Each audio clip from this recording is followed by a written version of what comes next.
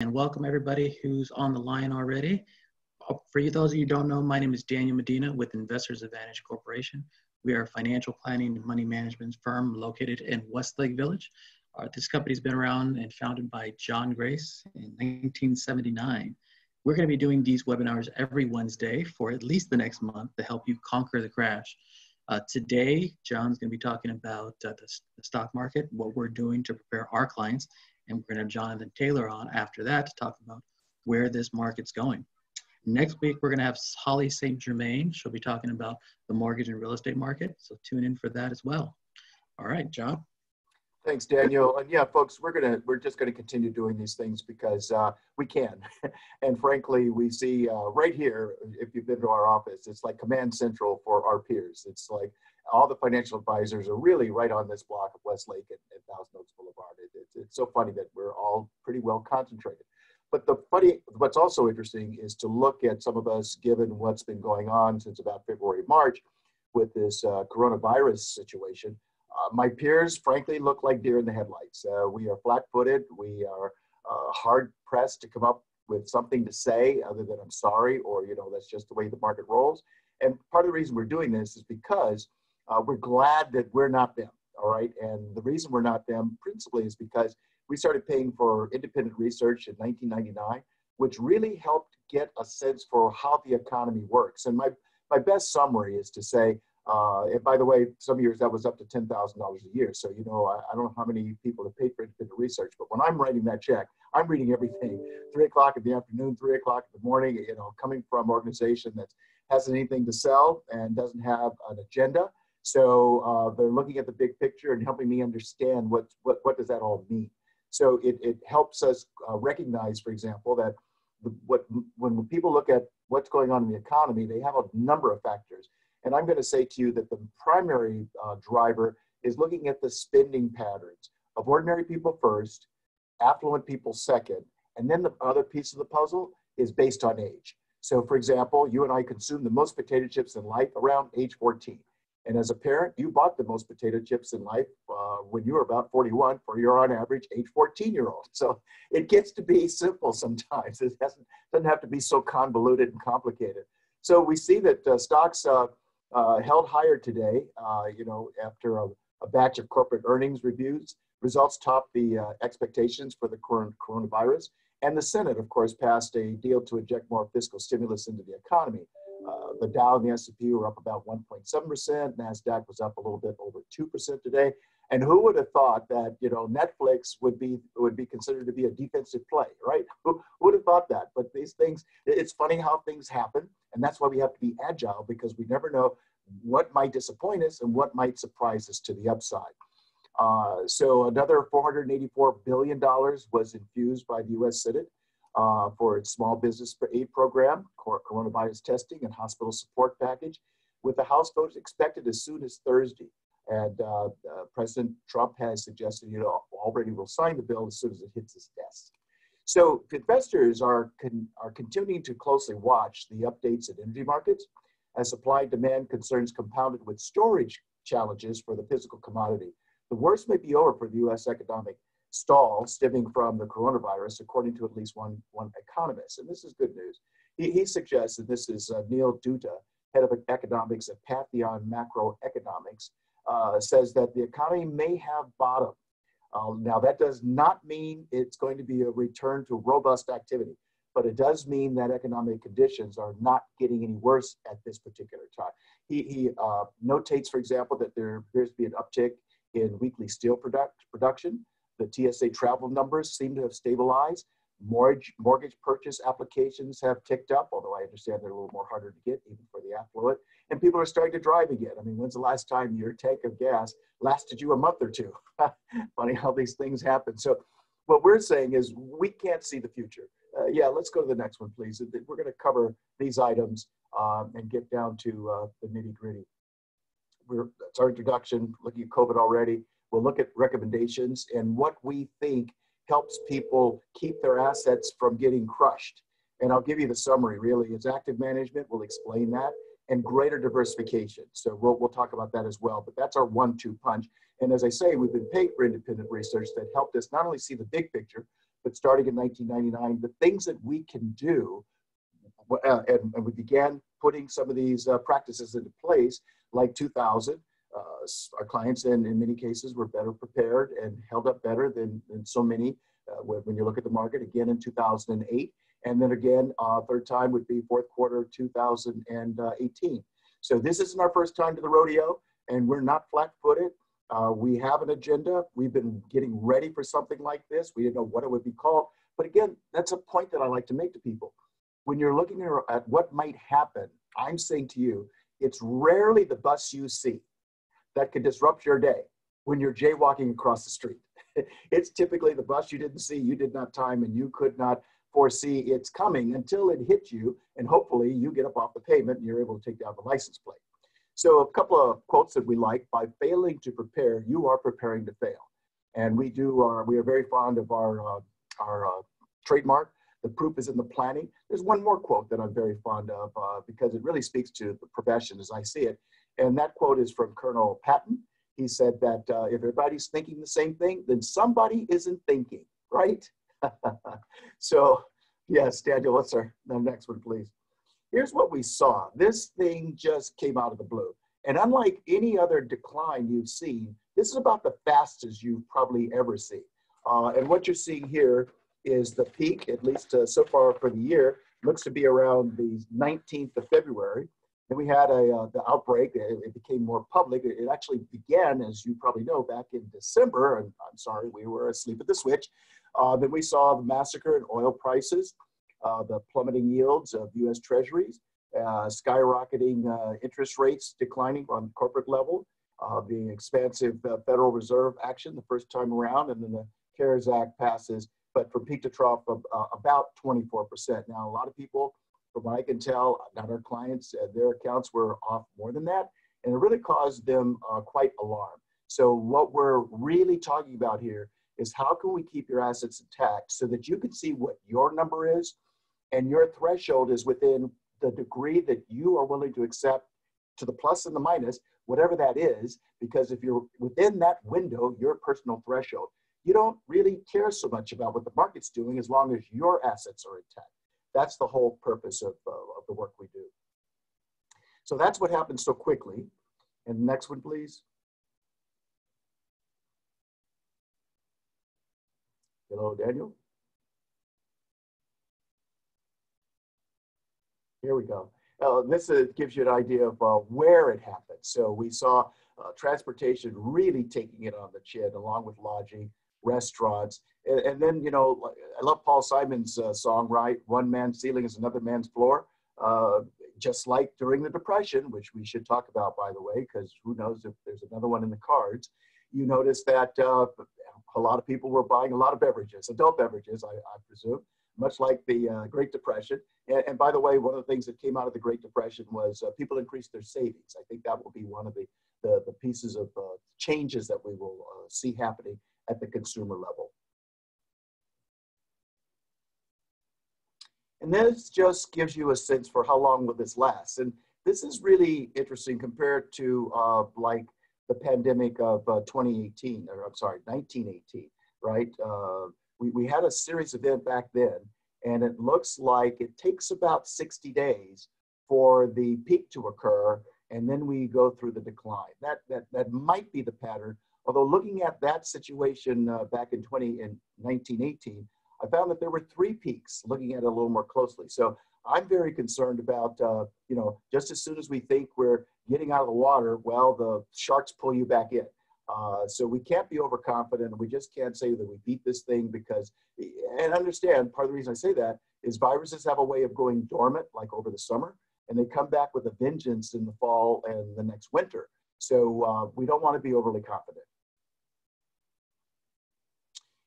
This one's interesting. Uh, this is probably a, a, week and a half uh, old now, and already it, it's already old. And, and what we're looking at here are uh, what, what has to happen for there to be a declaration that we're in a recession. And the only way you see that is in your rearview mirror. In other words, you have to have two negative quarters. Uh, right now, we can see uh, with the uh, quarter two coming that we're in now, uh, as we get to the end of it, instead of being off 15%, it more looks like uh, 30. whatever the negative number is with two quarters in a row, that will put us uh, dead ahead in, in recession. It's a word that you know some people are afraid to use. We were talking about the potential for a recession back in December. I, I pegged it at 20, 30 percent. In January, I thought the odds increased to about 80 percent. Right now, I, I think we're not going to miss this. It's going to be 100 percent recession. And, and, and what will be different from some of the other ones that we've gone through is this one will be worldwide. No one is escaping this. And that's, that's my real concern about will it uh, lapse into a depression? That's what happened in 1929. It was a serious recession. And some suggest because of the tariffs at that particular time that caused the US to slip into the Great uh, Depression. But again, remember, don't get depressed by that. If it happens, you want to be ready for it. Okay, it's not it's not the prediction that's important; it's the preparation. So uh, we're saying cash is king, and it means we need to have uh, buying and selling strategies to move out of positions at bad times and into cash, and then back into uh, risk assets during good times. For example, one uh, one vehicle that we've been using for clients was 100% uh, equities in November of 2019 at the beginning of November, but rotated 100% into US Treasuries by the end of November. So the systems did the work that the buy and hold strategies just don't do because you own the shares and you're watching the price go down. Well, sometimes it makes sense to sell those shares, go into cash, and then have that cash ready to be de- redeployed to enjoy the price going up. But you know, we can't we can't stay in the in the shares. We want to move out of risk assets into cash in a bad year and then back into risk assets as the upward mobility is happening and we can enjoy the melt up. So we're saying you want to be more diversified than you've ever been before. People uh, bring us statements and go, well, we're pretty diversified. Look, we have 18 different positions. And typically they're a combination of exchange traded funds and mutual funds. And I just need you to know, I don't care what combination you bring us, 18 positions. It's cash, bonds, stocks. That's it. You can look at a thousand different fund names it's some combination of cash, bonds, and stocks. That's as many as three legs, okay? When we look at the institutions and the endowments and the foundations, Yale as an example, we've talked about before, we see seven or eight different legs underneath their portfolio stool. So, you know, we don't need to maybe understand them all, and, and I'm not saying that that's what you should do, but what I am saying is we can agree, you know, six, seven, eight legs underneath your life savings is certainly a stronger stool than two or three legs. That's the point. The second point is when you are looking at a decline here, let's say at US equities, for example, you may find that there's a gain there. You fill in that blank.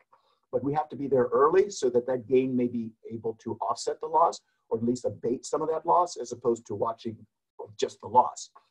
Do real planning. Don't just throw darts and feel good when the account goes up or bad when the account goes down.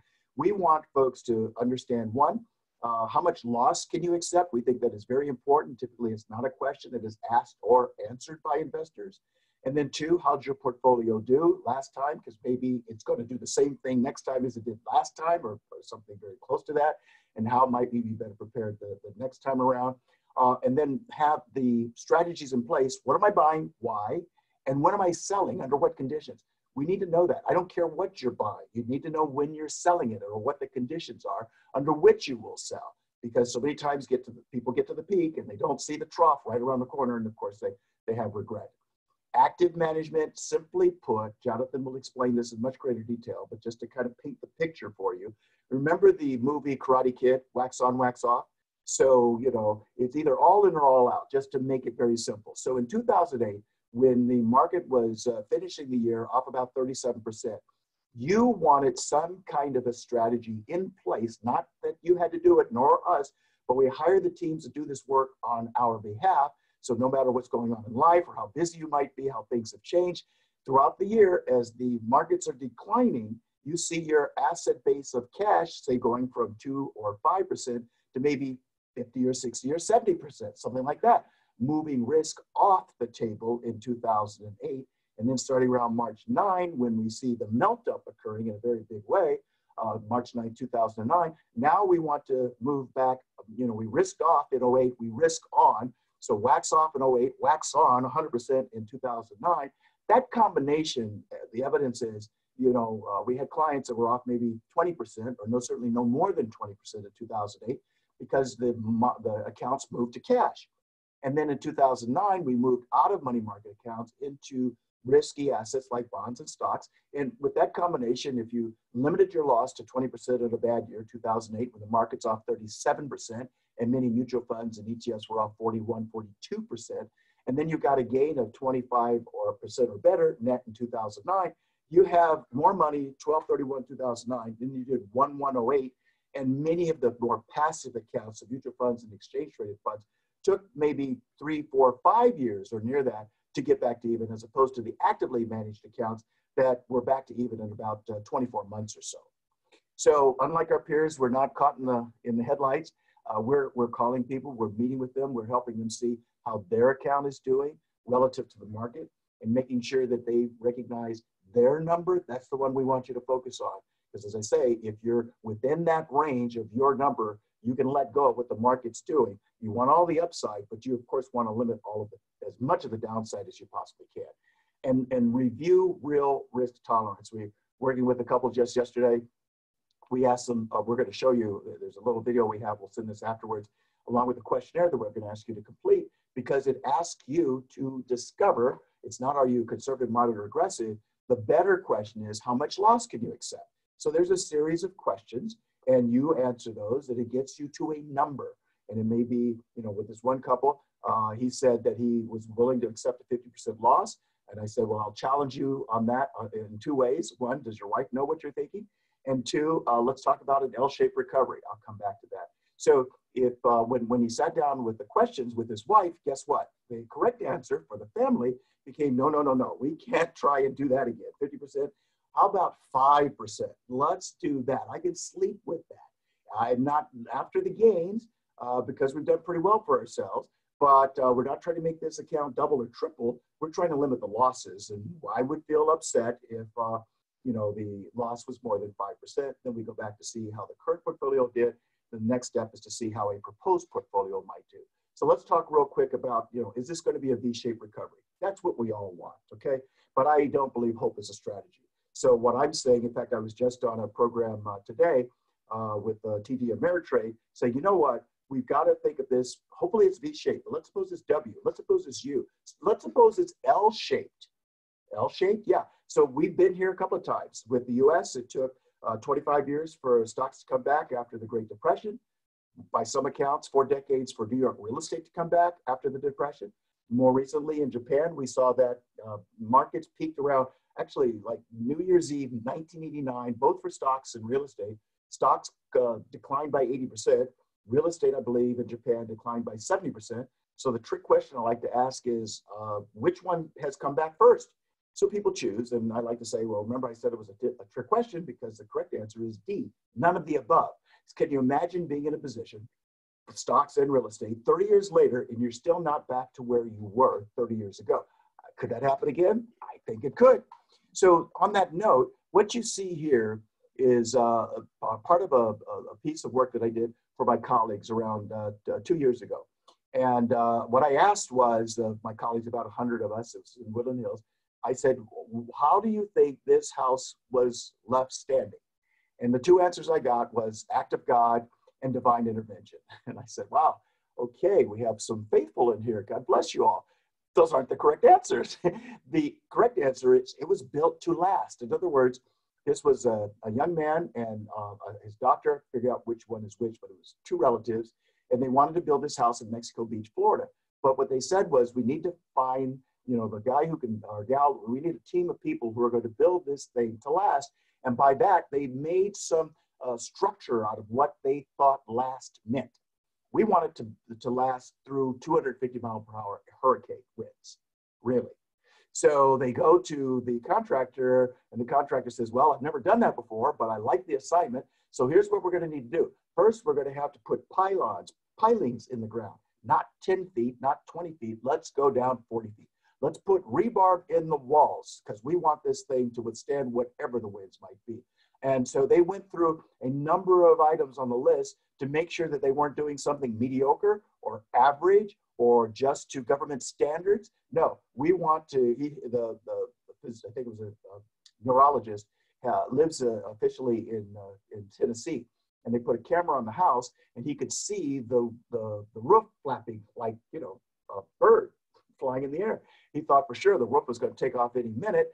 Clearly, the, the, the roof withstood the winds, so they felt successful. Uh, and, and we use this as an analogy to say, look at all the devastation elsewhere. We want to build portfolios for you that will last no matter what happens as best we possibly can. But it means that we have to ask better questions and look to see if we can put together better structures so that indeed the structure that you've constructed will survive whatever might just happen that you never expected to happen. Okay, so uh, we like to say that most investors, uh, unfortunately, were not prepared for the last two months in terms of what's been going on, caught them by surprise. And if that's the case, you may not be prepared, be prepared for the next 20 years. So we want to learn from the past as opposed to repeat it and be prepared for the next 20 years in the event there's another COVID-19 that's just uh, in, the, in the works and it hasn't showed up its ugly head yet. So to speak on that issue, we have uh, Jonathan Taylor just waiting patiently, and I'm so delighted he's here today because uh, he ha- he works uh, he's a certified I'm sorry a certified financial analyst CFA. Uh, he's been with Rochdale for about a year or so.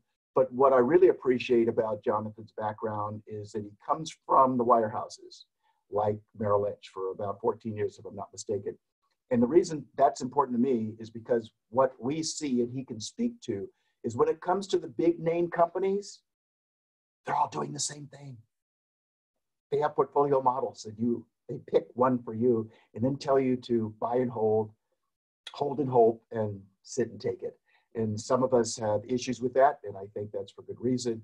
So, uh, Jonathan, take it from here and, and show us what Rochdale does and the particulars with uh, with the uh, you know active management, and then also show us how you have a perspective, but the speedometers help drive the decisions so that you're looking at clients' accounts daily, asking the question, is it risk on or risk off?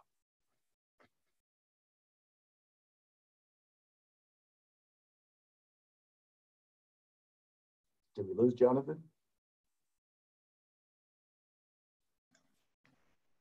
Jonathan, your mic's on mute. Can you hear me now? Yes, sir. There we go.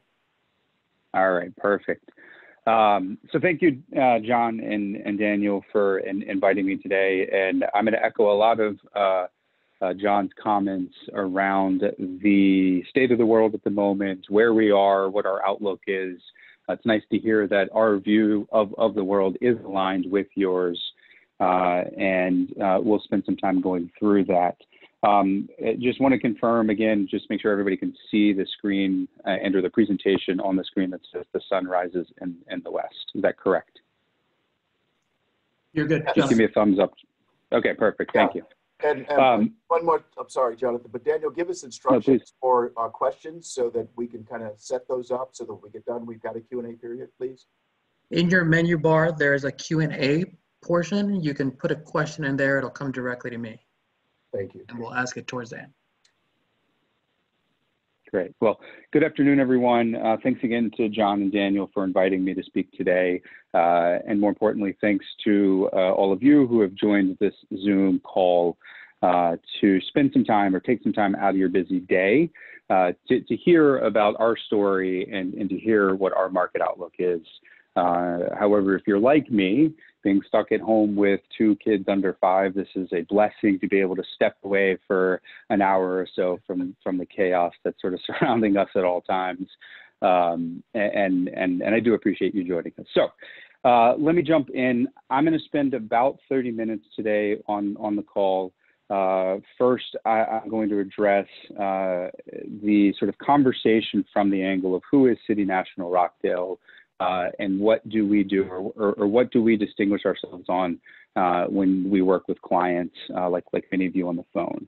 Uh, and then the second um, and so that'll go for about 10 minutes. And then the second uh, half of this uh, conversation will steer toward the presentation that you see on your screen now which will go through our outlook and our market commentary and or very specifically portfolio action uh, that we're taking on behalf of our clients. Um, so let me start with first uh, who we are um, and what distinguishes City National Rochdale. So uh, City National Rochdale is a boutique investment management firm. We were founded in 1986 And we set out at that time with really one unique goal. And that goal was to create a personalized investment portfolio that matched the needs and goals of our clients, right? Uh, 30 years ago, that was somewhat revolutionary. Uh, nowadays, that uh, planning aspect, the financial plan, uh, leads the way, which is a good thing. This is what we wanted. Um, but our 30 years and our being in the business uh, for the last 30 years, we've gotten really good at, at, at doing just that. Right. Currently, we, we manage around $40 billion in assets for, for our clients.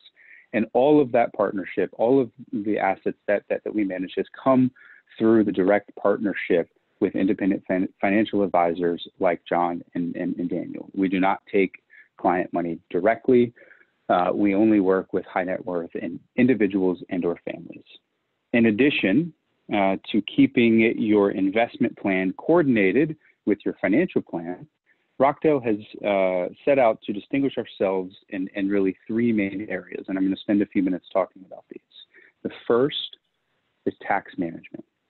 The second is income management, and the third is risk management. Now, in our 30 years, we've gotten good at doing these three things along with keeping that financial plan matching investment plan. And we've done this and we've developed this strategy at the request of our clients. And so I'll spend a minute talking a little bit about uh, tax management, income management, and, and or risk management. Um, but in interest of time, I'm not going to be able to spend the amount of time I would like to on each of those. If you have interest in learning more and or hearing more about what we do and how we do it for, for clients, please let myself, John, or Daniel know, uh, and we will happily set up a call after this uh, to dive in deeper. But from a tax management standpoint, we do two things well.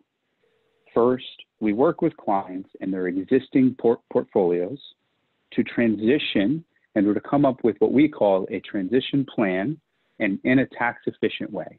And what I mean by that is typically with us through a series of phone calls and or meetings, we will analyze your current portfolio, we will review it, we will make suggestions, and then we will come up with a plan and or a tax plan if uh, that is part of your current circumstances to transition your existing portfolio and or make, uh, make suggestions and or improvements upon your current portfolio uh, to get aligned with our view and our thinking of the world at, at, at that time. And so we do that by keeping positions in kind.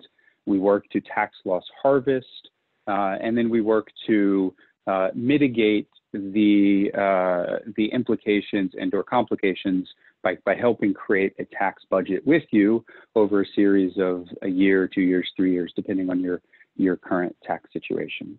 In addition to that, I mentioned this a second ago with respect to uh, this idea around tax loss harvesting.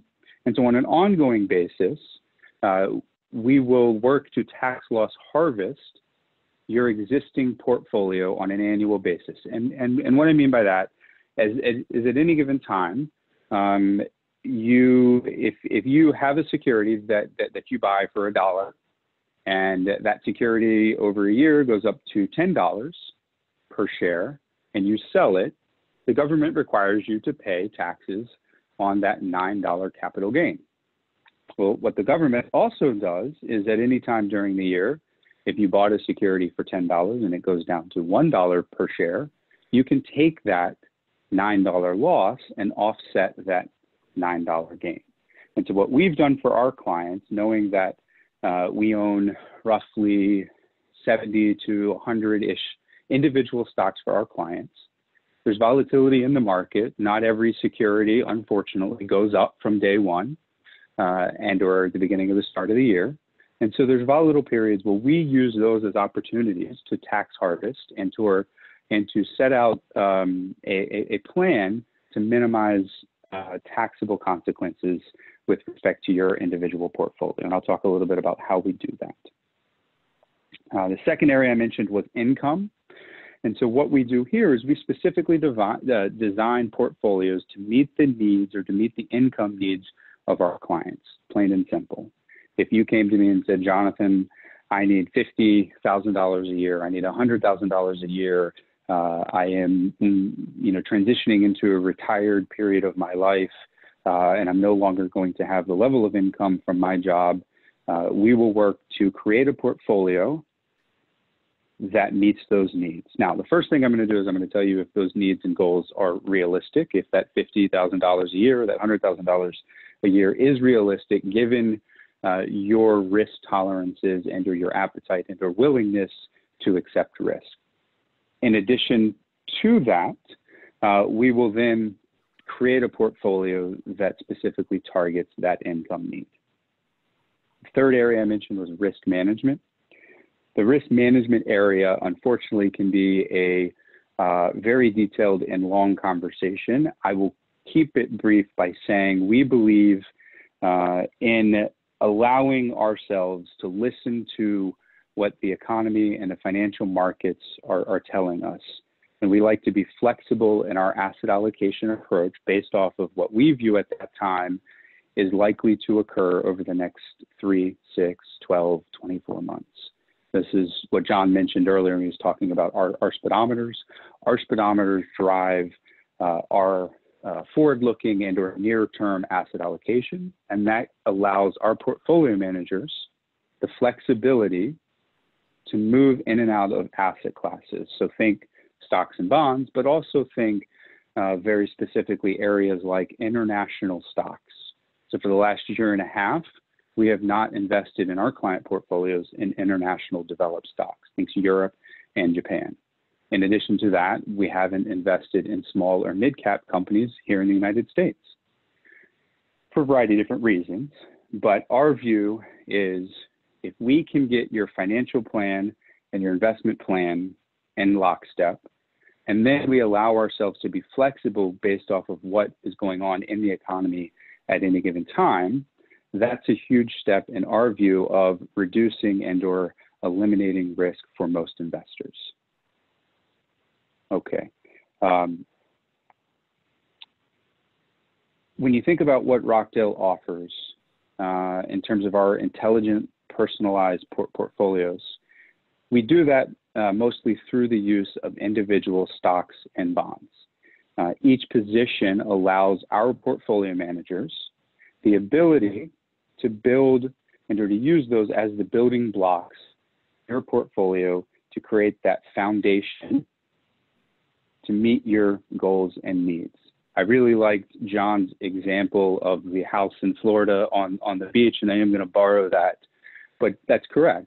If you have the structure in place, if you have the foundation, the right foundation in place, you're able to potentially weather the storm and allow for, again, your financial plan to match your investment plan. The biggest risk outside of yourself that most investors face is getting your in, your investment plan and or your portfolio relative to your investment plan deviating from your financial plan. And so our portfolio managers and the ability to use our portfolio managers and, and work directly with them ensure that that process starts off on the right path and continues on the right path uh, and allows us to course correct as the economy tells us to course correct and allows us to course correct depending on your goals and your needs and your changing um, circumstances. So when you think um, in in terms of uh, what really sets us apart and and what distinguishes us um, from uh, our competition and or other uh, asset managers or other investment managers. Um, it, it, starts with the uh, ability for every one of our clients to get direct access to a portfolio manager. Uh, these, por- these portfolio managers are responsible for managing the day-to-day investments of their client portfolios. Uh, you know, I mentioned earlier they will course correct as the economy dictates, and they will change and or course correct depending on your needs. But these are folks that are going to be available to you to have conversations, to have reviews, to help understand what our view is at any given time and why that's important. I've done a series of calls very much like this one with our portfolio managers for our clients, where we've gotten on and we've explained to someone that is nervous and said, here's our view, here's how you're invested relative to that view, and here's what we think is likely to happen going forward. And I will explain a little bit more later in the presentation about our, our current positioning. Uh, but for example, over the last three to four weeks, we've raised about 20 to 30% in cash across all of our client port portfolios. And so in, in doing that, we reached out to our advisors like John and Daniel, and they reached out or we reached out together with our portfolio managers to have a conversation with clients to help them understand why we were doing that and then what sort of areas we were looking forward uh, to get clients back. What, what was our plan to get clients back invested to uh, their long-term uh, allocations? Uh, two more points and then we'll jump into uh, the economic portion of the presentation today. Uh, so when you look at Rochdale, we have 300 plus individuals and our investment professionals helping steer this ship. Um, all of our portfolio managers and or uh, our senior investment consultants, which is the role that I am in, uh, have either an MBA or a CFA. John mentioned this earlier, the Chartered Financial Analyst designation and or an MBA.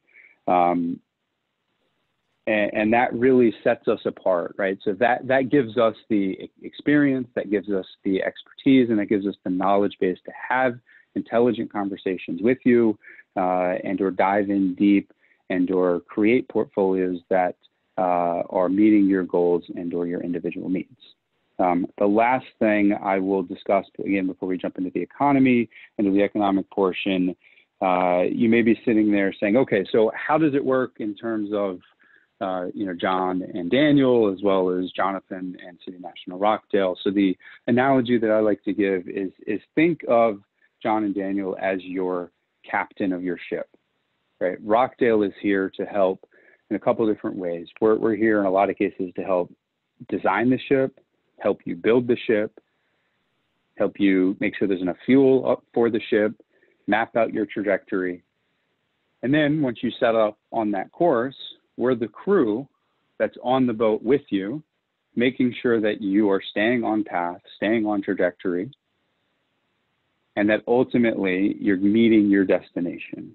Right? Little cheesy, get it, but I think it sets out how this dynamic works uh, between our firm as well as uh, John and Daniel. Okay, I will stop there. Um, uh, Daniel mentioned earlier about questions. Uh, if you have any questions about who our firm is and, sort of what we do, happy to take those here in a few minutes. Um, but let me switch gears a little bit, uh, getting into the economy. Um, when you look at the uh, economy and we start to dive into what's going on currently, uh, I always feel it, it's um, it, it, it's a good place to start by adding a little context and, and sort of reviewing last year and or reviewing what our view was coming into this year. Uh, and so I'll take a minute or two to just talk a little bit about that, and then we'll jump into our current view, what's going on with the coronavirus, what we're seeing in the market, and then the actions that we're taking on behalf of our clients. Uh, so when you think about last year, it seems like it was forever ago, but last year, all asset classes, again, think stocks and bonds across the board, uh, finished largely positive. The S&P 500, for example, uh, U.S. large cap stocks were up roughly 30 percent. Uh, and, and, it was sort of a, an, an, anomaly where all asset classes were up. It was a fantastic year, so to speak, across the board uh, from a performance standpoint. Um, our view coming into 2020 centered around the idea that the economy was in the later stages of its current uh, financial market and or economic cycle and that we felt valuations were extended and or getting extended. So what we came into the year was positioning our, our clients in portfolios that had increasing levels in uh, quality assets. And what I mean by that is we reduced our international developed exposure I mentioned earlier. We reduced and or eliminated our, our mid and small cap exposure. And we moved to an overall more defensive position right, on the equity side as well as the fixed income side. So on the equity side, we, we wanted to own um, really high quality, uh, solid balance sheet comp type companies uh, less out there on the you know the price to earnings and growth spectrum, uh, less out there on the deep value type of uh, stocks. We wanted to own a broad basket of core stocks and industries uh, that we felt were very high quality and or uh, in a lot of cases paying a dividend um, and had the cash flow to continue to do that. On the fixed income side, uh, depending on your risk tolerances and your needs, generally speaking, uh, we were um, higher quality within each of the different asset classes. I think even within high yield, uh, we weren't owning the lowest grade junk bonds. We were owning higher quality, high yield. Uh, we, had, we had spent, uh, in our uh, firm, had spent a lot of time doing research on individual securities to own within the space. We had started to move more into investment grade corporate uh, debt. Um, and on the muni side, we had done a lot of research. Our team had done a lot of research, understanding which which municipalities uh, were uh, financially sound, so to speak. Um, now, we, we, we couldn't, and it'd be disingenuous for me to sit here and say that we could foresee any of the current state and situation that we're in now. Uh, but we did come into the year uh, moving to a more higher quality position and a more defensive position. Okay. When we start to look uh, at uh, what I'm going to spend the rest of my time uh, today speaking about. First, we'll start with a little bit of sort of what is the market outlook, what's some recent activity that's been happening. Uh, then we'll move into uh, what's the current situation and, and what, what we're monitoring with respect to uh, COVID 19 and what our outlook is here. Uh, the impacts that that's having on the broader economy, as well as what policy responses uh, have um, been enacted from the Fed uh, as, as well as Congress. Um, and then we'll end with our sort of path forward as, as well as our sort of portfolio positioning. Let me jump into this slide. So when you um, when when you think about what has been happening and and uh, let me start with respect to you know what's going what's been going on in the market and and so a couple of things that have started to be positive news and news that we're following uh, is the social distancing. So since we have up here in New York, hospitalization rates have, have, have peaked, but but broadly speaking, the, the, the social distancing in the United States and around the world uh, seem, seems to be working. Right, we we are flattening the curve and we're um, as sort of becoming in our lexicon now, this idea of flattening the curve. But we have started to see pockets of success uh, across the United States and across the globe. Major cities have, have taken action in terms of these stay-at-home orders, uh, and and these actions have started to bend the curve, so to speak. Uh, and and this is really going to be key uh, to getting us all uh, back to work and or getting the virus under control so that we can all ultimately get back to work. And, and, and so that's been positive. Um, what we've also seen over the last few weeks, and John mentioned this, there was another bill signed last night for you know three, four hundred billion dollars for small businesses, uh, but the Fed has taken sort of unprecedented steps uh, to launch programs that will uh, provide liquidity, uh, from a lending perspective to small businesses and or, and or um, broader municipalities. Again, this is a very positive development that is going on and likely to continue in different phases as, as, as we move forward. Um, the policymakers, so to speak, uh, governments and or um, companies around the United States are, are starting to uh, talk and or create their plans around the idea of reopening. And this is really key, right? This is a positive uh, state. This has to be done correctly. Um, unfortunately, there will likely be situations in companies and states and or cities where they're able to go back to work in some capacity. And we'll talk a little bit about what we think that's going to look like here in a few minutes. Um, but states like California are, are already sort of regionally developing a plan uh, with other states on how that's going to look, how that's going to work, how they're going to coordinate their efforts um, so that we don't have a major outbreak and a restart of the outbreak again that we're currently facing. Um, in addition to that, over the last week, week and a half, uh, we, have got some positive developments um, in, in terms of uh, treatments as, as well as vaccinations. Uh, there's some trials that have shown positive results. Some of these vaccinations, uh, some of the trials associated with those are starting up this weekend or in the next few weeks, again, which is a positive step. Unfortunately, we still think it's likely a situation where we don't get a full vaccination and a full 100% treatable plan and or multiple treatments because uh, not everyone is going to respond uh, to, to every single treatment the same until next year. Uh, but if we can continue to social distance, if we can continue uh, to put uh, the right measures in, in place, uh, it, it, will help us in terms of restarting the economy and or opening uh, back up the world from a from from an economic standpoint. Um, last week and over the last few weeks, the S&P 500, uh, not including this week, has, has been up about 15%. That 12% was really actually two weeks ago, and then last week we were up an, another 3%. So so we've been up about 15%. Um, and uh, we've been up about 28% since the bottom uh, and it, it, may not feel like that, um, but we do feel uh, that that's likely uh, to be um, that's likely to hit a pause. Uh, we're, we're, we're, we're likely to continue positive news, but we're also likely to have uh, some retracements and some, some bad economic data here coming in the next few weeks, next few months. Um, let me jump forward here. So peeking back a little bit about how we got here, and I'll try to keep this brief because John did a great job of kind of explaining this, but this started in February uh, with this sort of outbreak and or that coming to fruition uh, with everybody really focusing on it.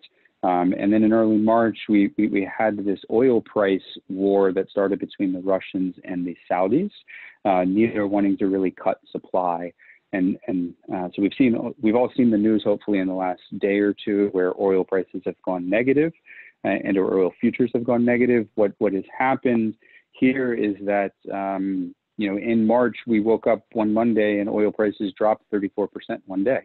Uh, this is unprecedented, uh, and this caused uh, an additional leg down in the overall market. This had and uh, was having a material effect in the fixed income markets as well as you know the broader economy. Uh, when you think in terms of high yield debt and or high yield bonds, the energy space made up about 15% of all issuances. And so when you, at, at the time in, in March, when you had oil trading down at $20 a barrel, and now it's even worse, you're in a situation where it's it's real conversations around the economic viability of some energy companies and which ones are going to uh, um, be with us here in the near future and which ones may have to file for bankruptcy. Now, what has happened is that spilled over where you see the corporate interest rates skyrocket. Uh, that spilled over into other parts of the market. There were some municipal bond situations as well as some investment grades, so, so higher quality corporate debt, where the market for a very brief period of time uh, started to have some liquidity issues and started to have um, major discounts, 20%, uh, in some cases more discounts on positions two, three weeks ago that, that were trading nowhere near those levels. And so luckily the Fed has really stepped in here, uh, which is a, which is a huge positive uh, with uh, a few of their liquidity features, one being Main Street lending. Uh, another one was the municipal liquidity facility. And they've added about a trillion dollars of liquidity to the system. And this is functioning now. This is starting to get liquidity back into the market. Um, we, we, we, had the CARES Act again, which was very positive. This was the step to get money back into uh, you know small businesses. Um, and so we we've seen this bounce off the lows. The the, the market um, dropped about 34 percent, and since then we've rebounded off those lows uh, roughly to about 16 percent.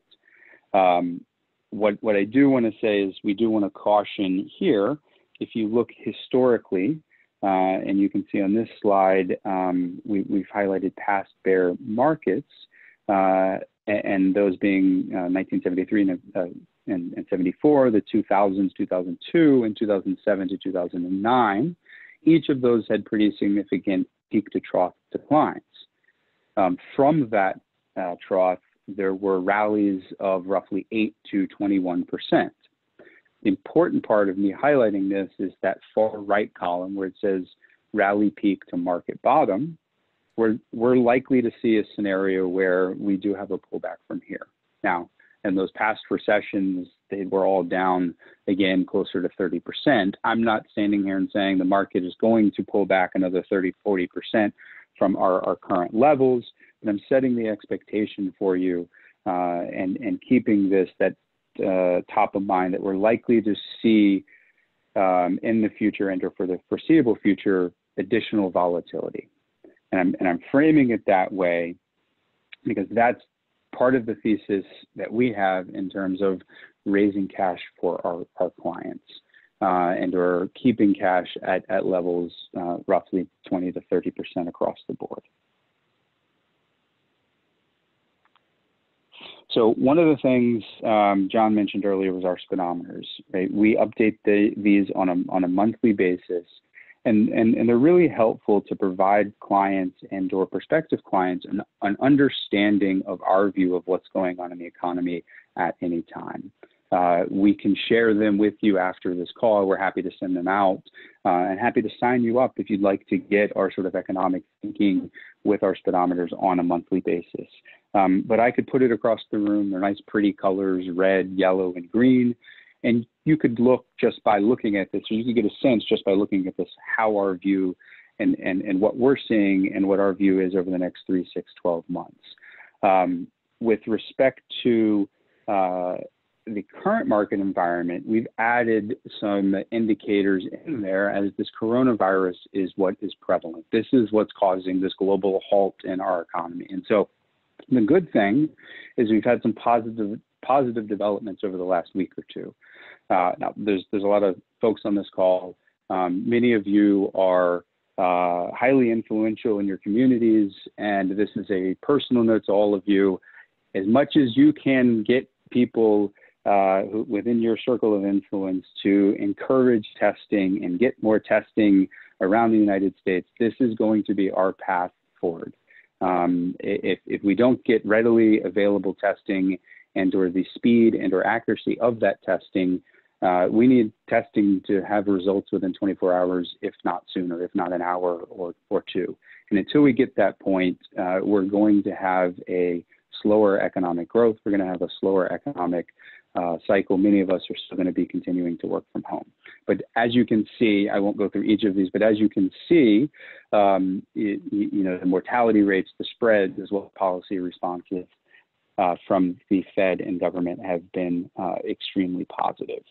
Um, I'm going to skip the next few slides in interest of time, because uh, a lot of that, if you've watched the news or you've read a newspaper over the last uh, month or two, a, a, lot of it is uh, regurgitation of that. But I do want to stop here. I just mentioned testing. So what do we need to do to get back to normal? Again, the number one thing is we have to get better testing. It has to become more readily available. And we have to do that because we have to be able to identify and or isolate cases where we are and or will in the future have an outbreak and or have sort of these flare-ups as they call them. Um, and, and that can be done in a uh, digital way where we'll be able to identify regions and or cities and or streets in some cases where there has been an outbreak and there has been a flare-up uh, so that uh, we can keep folks isolated and or quarantined, so to speak. Um, we get this data and, and, we get the next few slides actually from uh, Kinsey, who is providing a lot of this commentary uh, directly to New York City. Um, but what we're thinking and what we're feeling is the return to normalcy is going to come in a variety of different phases. And this is going to feel and look different for different parts of the economy, for different industries, as well as different parts of the population. Uh, those that are at high risk are really going to be, um, in, in some aspects, stuck in place. They're going to be in the locations that they are until we get uh, much lower numbers from, from a, from a um, uh, from a spread standpoint and or an infection standpoint. And until we get really definable treatments in, in place, you're going to see those high risk populations really stuck in their uh, current situations. Um, the reason we highlight this is uh, there's going to be different industries, there's going to be different parts of the economy that um, are, are, are, going to be right for in, investing based off of which parts of the economy are less likely to be infected or, or excuse me, Im, impacted and or more likely to benefit in some aspect uh, from this future new normal or future state. Uh, it's early to necessarily decide exactly how that's going to all play out, but we're monitoring a lot of things associated with that and what that phase uh, rollout in, in terms of uh, many of us getting back to work. Um, it, it's funny, I, I, just got an email um, last week from my company saying when you're in common areas, uh, you need to wear a face mask or some sort of face covering. So that's the elevator, that's the lobby, uh, that's when you're you know going to the break room or whatnot. The funny part in this story, um, and, and, I like to keep humor e- even in times like these, is that uh, I the building I work at, the first floor is a bank. Uh, so what's funny is I am going to be walking into a bank wearing a face mask, and I think historically that's not something that would have been looked at too too positively. Uh, but there's going to be, you know, this influx of people, even banking, that are going to be coming in with face masks on and hiding their faces. I just kind of find that a little humorous at the moment. Um, so let's let's jump forward in, in terms of what's happening in, in the economy uh, and some of the headline things. Uh, and we should wrap this up here in the next five or six minutes uh, from my perspective, and then we'll be happy to take any of your questions. Uh, unemployment, uh, it's been an unprecedented level of, of, of unemployment. Uh, we'll get new unemployment numbers here soon. Um, but we've had 22 million folks so far file for unemployment. This is unprecedented and really unsustainable. Uh, we're probably going to end up, and, and, we're coming up upon uh, the U.S. unemployment rate being close to 15 to 20 percent, uh, and and that's likely to happen. what what we're pointing out on this slide here is that typically, uh, it, it, from a historical per perspective, it's taken from a uh, job perspective about 50 months to recover the lost jobs. Now, we were at historic uh, employment levels, meaning close to 4%. We're not likely to get back in all of those jobs and be back to, to, to 4% unemployment here anytime in the near future, but we don't think it's going to take 50 months to get back to a normal level of employment and recover many of these lost jobs. We think it will likely be uh, much closer to 24 months uh, from this sort of bottoming process. Um, and, and the reason we highlight this is uh, moving into sort of what we see as our likely path forward um, for growth as, as well as the broader economy and our global economy uh, in some part. And what I mean by that is the main point I, I, would like for each of you to take away from today is that we do feel this is going to be a shorter recession. It will be deep. It will be very painful. Unfortunately, there will be not only losses of life because of the coronavirus, there's going to be losses of jobs and people that are permanently uh, impacted by this. Um, and the future of what the United States economy is going to look like will take you know five to ten years to really filter itself out, as that's happened with past recessions. Where I'm headed with that is we do feel that this is likely to be much shorter uh, than um, you, you know past recessions, and we are likely to get something similar. We're slightly different from what John described earlier in terms of an L-shaped recovery we're likely to be much more of a Nike check or a Nike swoosh. So we do think it's going to be deep, but it will be short. Uh, and uh, we we will start to see recovery ahead. Uh, it's you're going to hear a lot of bad news from the headlines and from the media. Not all of the news across the board is going to actually be bad. Consumers, in a broad sense, have changed their appetite. Uh, there there are industries, travel and entertainment, that will be affected for a very long period of time, uh, really until we get a vaccination. Um, but there are positives. There are industries uh, that are set up well uh, to take part in that recovery and take part in that rebound that we're likely to see here um, coming into beginning middle of next year.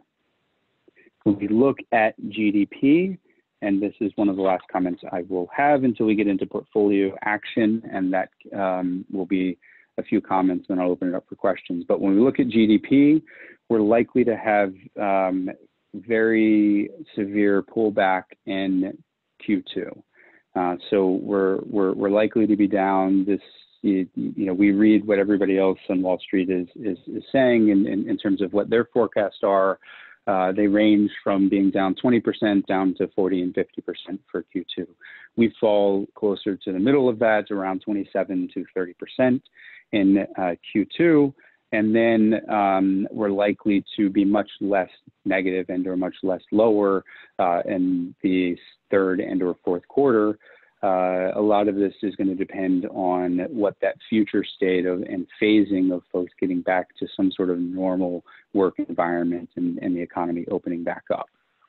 Uh, we have started to um, uh, excuse me, let me add one more point there. So when you look at this from a year over year perspective, because this is quarter to quarter, what you see on your page, uh, on a year over year perspective, we're likely compared to last year to see a four to 6% decline in GDP. We are looking out at those worst case scenarios um, and we've assigned sort of a probability of those roughly of 5%, but we are monitoring those sort of type of situations, but we don't think those are very likely. We think there's going to be somewhere between a 4% pullback in US GDP this year uh, from a year over year perspective. And then in 2021, uh, we've already started to look out to that. And that's actually where most analysts from a stock perspective are starting to forecast uh, their expectations.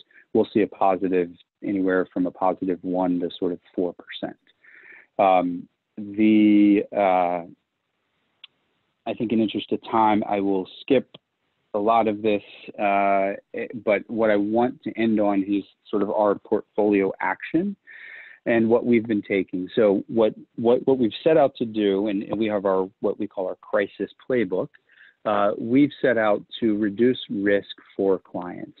Uh, and that's really happened over about the last month or so for, for our clients. We did that in part by adding cash. We sold some cyclical names, so think companies and stocks uh, that are uh, very sensitive to economic conditions and economic activity. We sold a lot of, um, not a lot, but we sold some of our energy exposure, uh, so to speak. We didn't have a ton coming into this year. Um, and, and we wanted to become even more defensive than we were coming into this year. We have increased on the fixed income side um, over the last few weeks and or month. We, we increased our, our, our quality. Now, what's going on in the fixed income market could be a whole other hour conversation. Uh, but because of some of the actions that the Fed has taken, uh, we're, we're, we're, actually finding opportunities within investment grade credit, within investment grade bonds. And, and the Fed's really stepped in here and, and is going to start buying securities there. And you've really seen a lot of issuance come to market, which is a good thing because uh, you're, you're, you're finding lenders of, of capital to these companies um, but there's some good opportunities there for uh, us to start taking advantage of and, and start looking at on the fixed income side. With respect to the equity side, which is in a large part where we pulled that 20 to 30 percent cash uh, um, cash exposure from, uh, we are taking our time. Uh, so we so we've become more defensive on our in our equity holdings, and we're taking our time because of two reasons. One we're likely to see increased volatility. We're likely to see some form of a pullback. And so we're, we're, we're likely to think we're going to get additional entry points here uh, to invest back in the equity equations uh, or the equity side or the equity equation of clients' um, allocations. The, the other side is we're, we're likely to see a lot of really negative um, headline news and or earnings over the next few quarters because what, what a lot of companies are doing is any sort of write-off that they can add this year is they're sort of just throwing everything away. And so investors from a psychological standpoint are likely to pay attention to that, are likely to see that. And so that's part of this thesis that, that, that we're going to see continued uh, and or some level of pullback from current valuations of where we are. And so for us, um, we're going to take our time on the risk asset, so the equity side of the equation, and start investing in sort of our uh, credit facilities and or bond side of the equation to take opportunities of, of uh, where the market is, is sort of dictating to us currently. All right, so I will stop there uh, and open it up for any questions. Uh, John and Daniel, please feel free to add anything from your perspective. If I'm too far over in time, uh, we're, we're, we're, happy to follow up with any of the questions uh, that the folks on the call have, and uh, we can answer those individually. Thank you very much, Jonathan. Okay, we got a couple questions come in. Where do you think interest rates are going from here? Uh, that is a fantastic question. Um, and what we feel is interest rates in the uh, near term are likely to stay at similar levels uh, and or potentially come down on the shorter end of the curve. Uh, you typically in these types of situations see a flight to quality, um, and that would cause the short end of the curve to actually increase. We just haven't seen that in some of the mechanisms, uh, you know, generally speaking, that the, that the Fed and has, has started to provide have made it more attractive to invest in the corporate space and or some of the other facilities. And, and so we just haven't seen the level of uh, the level at this moment to us of a reason and or a rationale to think uh, in part of the curve at this moment is, is going to have uh, a shock upwards, right? Where, in, where interest rates are going to rise. Um, if you're a betting person over the next, you know, 5, 10, 15 years, even though people have been saying this for the last five or 10 years, uh, we are closer to a bottoming process in interest rates uh, it is likely that over the next five or 10 years, interest rates will be up from their current levels, um, but we're not forecasting that far into the future at the moment uh, with, with respect to a broad level of interest rates. We feel that they will uh, likely stay roughly where they are currently. Great answer. Next question, should there be a second wave because of lack of testing from a financial standpoint, how is that going to affect the markets? Can we recover? And then how long would that take? Um, great question. So if, if, we're have, if, if we have a second wave uh, and we don't have adequate testing, then yes, we would revisit uh, lows. We would revisit an additional pullback from, you know, financial market perspective. Um, that's in a general sense that's likely to happen in isolated areas meaning you know states that are rushing to get back and have less controls and less measures in place are likely to see an increase in cases. Now if the healthcare system in each of those cities or states or municipalities doesn't get overrun then an increase in people testing positive but recovering uh, is likely to be more noise um, but if it starts to overrun the healthcare system in those areas, that's when it becomes a greater concern. And then you have to clamp back down and have these strong, strict social distancing measures put, put back in place. And let me piggyback on that one, uh, Jonathan, because I think it's a good way to kind of uh, explain what Rochdale does. But the question uh, implies that uh, the market's going to do what it does and it's probably going to go down. But I'd like for you to highlight what Rochdale did on average, because everything is customized, and we, we like that 100%. They're not in sleeves or files or pick your portfolio. No, that's not what we're doing anymore. That's so 1980. Uh, so, you know, what Rochdale did in 2008 on average in terms of how portfolios uh, were oriented with cash at the beginning of the year and how they that the portfolio changed at the end of the year, which and of course we're trying to say to you that there's some better systems and we think this is one of them because let the market go wherever you want to, to heck. And uh, as I say, if your portfolio is for, for the most part pretty sound, you don't have to go there with the market. So describe what happened in 08, please. Yeah, that's a great uh, point, John. And when you think in relation to 2008, obviously the circumstances of the uh, recession and or uh, what what was happening around the world were different, right? There there there was a situation facing us at, at that time that the sort of global financial system was going to crash. Uh, I was at a different firm at that time, and I and I remember coming in one day and the uh, our chief economist at the firm uh, sat right near where where I was sitting, and he was white as a ghost, and he said, you know, I think this firm is our firm is actually going to go under, and this was the Friday before all of the banking folks got together with the Fed and said that we're going to save the economy and you know we're going to start buying all these assets and pump all this money in at the time, which was on which was unprecedented levels. I'm, I'm phrasing it in that way because over sort of the 08 09 period, when our recession indicators at City National Rochdale started to increase, we took action at that time to raise cash from the equity side of our client portfolios, similar to what we have done here. Now, we didn't jump into you know 70 or 80 percent in cash. What we did is we started with 20 or 30 percent, and as the economy told us you need to raise more cash because there's more bad news on the horizon, and our recession indicators were increasing in terms of us being in a recession and or likely continued recession, we continued to raise cash for our clients. So when we got to the lows in sort of March of 09, our recession indicator had peaked. And at that time, roughly around that time and shortly after, by the middle of that summer again, we were we had been at a height across all of our client portfolios at 60% in cash. Right? So if you had 70% in equity securities, 60% of that 70% was invested in cash.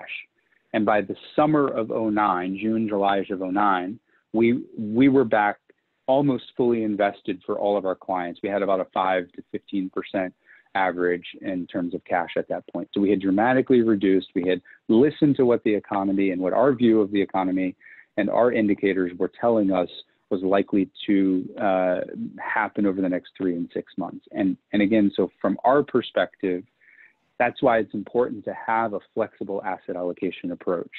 We keep in mind, we absolutely, from a portfolio management perspective, keep in mind your long-term risk and needs and goals when we make those decisions and or your individual circumstances. Uh, but we do feel it's prudent and, and important to listen to what the economy is, is telling us at any given time and take portfolio action accordingly.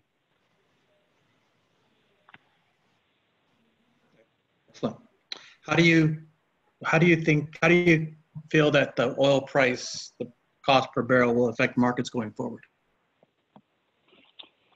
Uh, that is an interesting question. Um, it, it's uh, it, you know oil trades largely on supply and demand, um, and, and, if we continue to have uh, you know governments and or the the production of of uh, oil not being slowed down, uh, the, there's a huge offset from um, from from the demand side, and that's likely to continue until uh, certain countries, certain folks within OPEC uh, decide to stop producing and or uh, uh, reduce the amount of supply that they're pulling into the market. That's why you're seeing these negative uh, future values on on oil.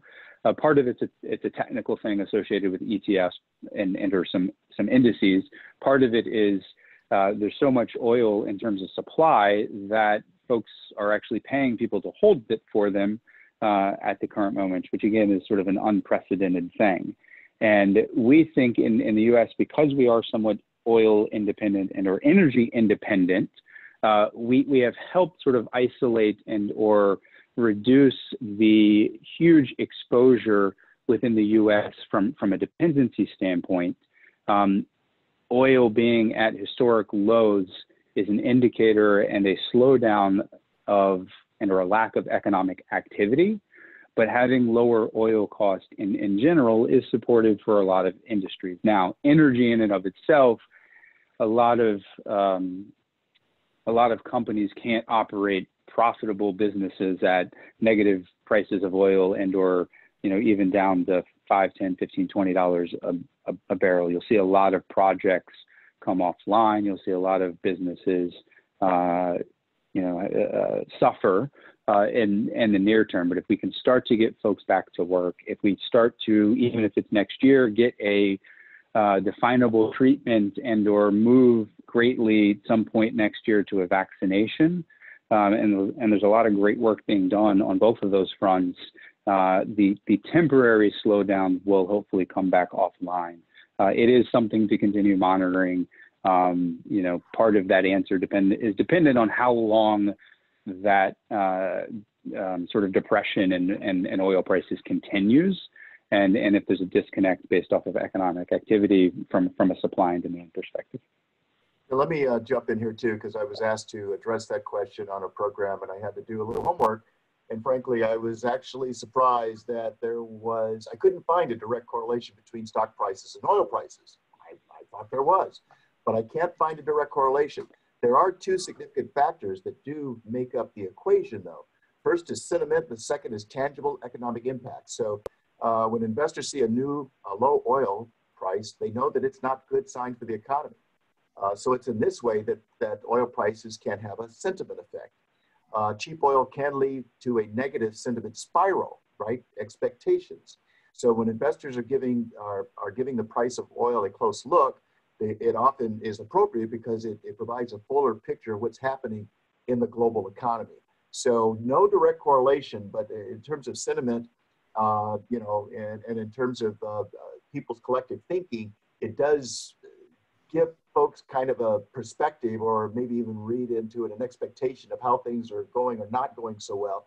And it just becomes part of the consciousness, if you will, relative to consumers' uh, uh, perspective and, and expectations. Very interesting. Okay, guys, in interest time, we're going to wrap it up. Thank you so much. Well, thank you, folks, for joining us. Thank you so much, Jonathan Taylor, for, for being here and giving you your perspective. We really like uh, working with you and uh, glad you came over from the other side uh, to the dark side, the independent side. That's what we used to say 30 years ago. That was before your time, but I remember it well. Uh, and we're going to continue doing these things. We'll post uh, like who we have lined up. It'll be a similar format. We'll t- I'll talk first about what I'm seeing and you know help people see that you don't need to take it, you don't pass it. Uh, active management trumps passive investing. I, I coined that one. I think it's appropriate. Uh, so we think that's an advantage and the additional diversification. And with that, I will say good health and good wealth to you.